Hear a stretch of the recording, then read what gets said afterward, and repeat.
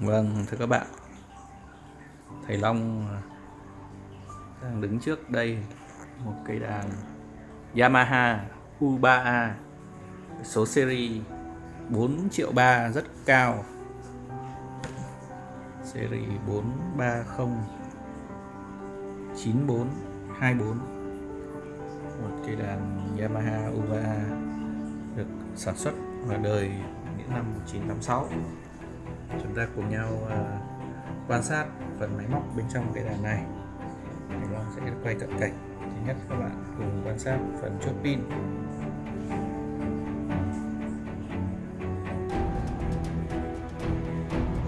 Chốt pin rất đều rất đẹp. Tiếp theo chúng ta sẽ cùng nhau quan sát phần búa.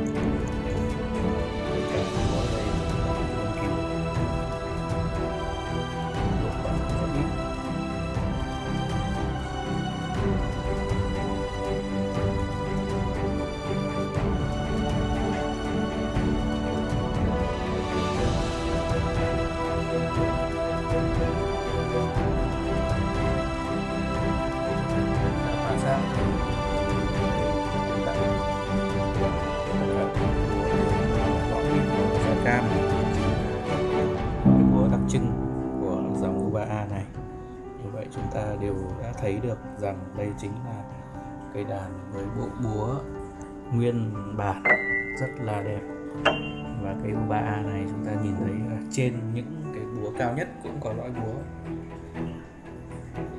Chứ không phải là trên những búa cao nhất thì không có lõi như là dòng U3H các nhìn tổng thể toàn bộ máy móc. Đều đẹp. Cả các chi tiết chốt pin.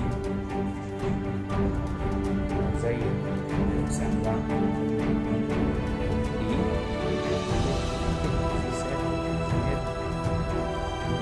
Kiểm tra phần thân cột cả đều bóng đen đẹp. Có thể soi gương được. Sơn.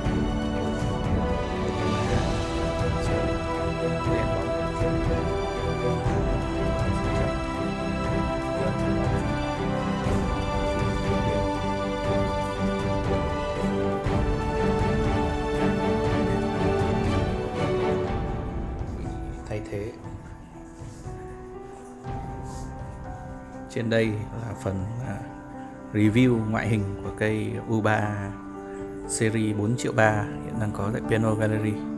Bây giờ mời các bạn cùng nhau thưởng thức âm thanh của cây đàn Yamaha series 4 triệu 3 này.